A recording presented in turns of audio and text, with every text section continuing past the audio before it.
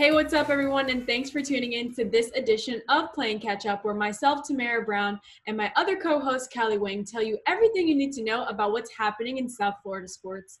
Let's get started with the Miami Marlins, who unfortunately lost last night 11 to 1 because former Miami All-Star Marcell Ozuna had a 5 RBI night and the Atlanta Braves as a whole had 5 home runs last night to take an 11-1 win and clinch the NL East title for the third consecutive year. The Marlins and the Braves play again tonight at 7:10 p.m. where the Marlins are looking to hold on to their second place in the NL East and clinch their postseason berth for the first time in 16 years.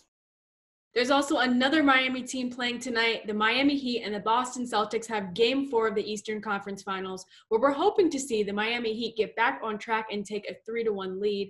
But as you know, in the last game, the Celtics were able to get their first win of this series, coming off a pretty bad game, too, where they had a few words in the locker room and a team meeting. And it seems like whatever happened in that meeting turned things around for the Celtics in game two. We're hoping to see Jimmy Butler and Dragic also show up in this game game for the Heat. They were not as productive as they have been in previous games in the playoffs, especially Dragic, who has been quite the show, show to see in the playoffs thus far. Tyler Herro and Bam were extremely productive, combining for almost 50 points in game three. We're hoping to see a, a, complete total team effort here in game four, especially a hot start would be great as, you know, we've seen this team come back from a many of double digit deficits going along in this playoff so far. And the rally came up short in game three. So we're hoping to see um, you know, a fast start from this Heat team in the beginning of the game and not a rally in the second half of the game. Though it's been really entertaining and exciting to watch, it is extremely draining. And as Jimmy Butler mentioned, we have to stop digging ourselves out of this hole every single game. So we're hoping to see a hot start from the Heat tonight in game four and hopefully take a 3 1 lead.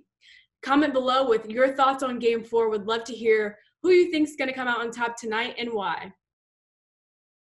And the fun does not stop there. Tomorrow night we have Thursday night football. And no, this time it's not the Miami Hurricanes, it's the Miami Dolphins. They will travel to place the Jacks they will travel to play the Jacksonville Jaguars. Tomorrow night, kickoff is set for 8:20 p.m. Eastern Time. Be sure to tune in to watch the Miami Dolphins hopefully get their first win of the season. The Jaguars are also coming off a loss against Tennessee on Sunday. It was a close three point loss for them. So both teams are looking to claw it out for a win this Thursday night. The Dolphins will be without cornerback Byron Jones with a groin injury. He's been ruled out.